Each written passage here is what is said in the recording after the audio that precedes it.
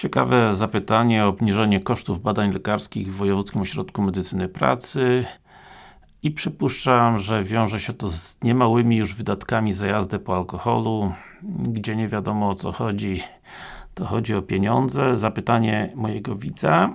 Syn dostał skierowanie na badania lekarskie do WOMP-u po zatrzymaniu prawa jazdy kategorii B na 6 miesięcy za jazdę po użyciu alkoholu. Tak się złożyło, że w kwietniu tego roku w tym samym WOMP-ie wykonywał badania okresowe jako technik mechanik i kierowca samochodu kategorii B. Badanie jest ważne na 3 lata. No z tego widać, że yy, nie wykonywał tej części yy, swoich obowiązków jako kierowca kategorii B i raczej mm, wpływ jakiś na pensję miało oczywiście negatywny, badanie jest ważne na 3 lata i moje pytanie, y, czy w tej sytuacji warto pokazać to orzeczenie, zgłaszając się na badanie teraz i chociażby obniżyć częściowo koszty y, badania. Także syn miał badanie wzroku, słuchu, krew, mocz. Mogę tylko przypuszczać, że nie było próby wątrobowej, bo chyba nie jest obligatoryjna przy badaniach okresowych kierowców kategorii B. No, być może lepiej nie przedstawiać tego dokumentu.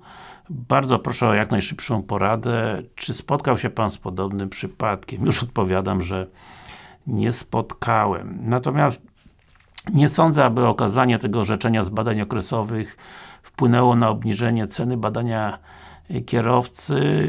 No, cena jest urzędowa, i tutaj jako monopolista badań y, po alkoholu, WOMP naprawdę się nie musi martwić o brak chętnych do badań. Bywa to niestety bolączką praktyk prywatnych, y, na szczęście nie mojej, ale w takiej praktyce prywatnej lekarz sobie nie za bardzo może pozwolić na uwalanie każdego jak leci, prawda? Natomiast w WOMP-ie sobie na takie rzeczy pozwolić jednak mogą. I nie obawiałbym się za bardzo przyznania do tego faktu. Być może nawet ci z WOMP-u sami wyszukają te dokumenty w ich systemie komputerowym. Natomiast jak przeszedł te badania i to na 3 lata, to świadczy o dobrym stanie zdrowia wcześniej. Także było fajnie, no niestety narozrabiał jak zając w kapuście, napił się, wsiadł do samochodu.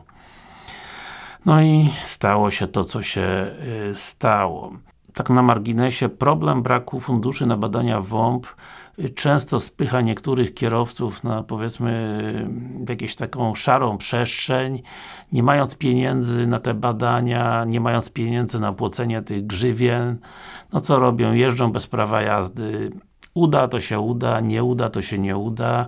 Czasami znasz takie medialne przypadki, no niestety jechał pijany z zabranym prawem jazdy, znowu trzasnął kogoś, znowu zabił. No ale y, powiedzmy ci, co wypłyną, to jest jakiś margines, natomiast duża grupa kierowców po prostu z utraconym prawem jazdy y, jeździ, no licząc po prostu na łód szczęścia. Także na tym kończę. Zapamiętaj jedno, jak wsiadłeś na podwójnym gazie za kierownicę, to musisz mieć odłożone pieniążki na badania WOMP, na wszystkie y, sądy, na grzywny i tak dalej, i tak. Jeżeli moim widzem jeszcze nie jesteś, oczywiście zasubskrybuj tutaj mój kanał YouTube Lekarz Medycyny Pracy lub obejrzyj kolejny filmik z cyklu badania kierowców po alkoholu w Wojewódzkim Ośrodku Medycyny Pracy.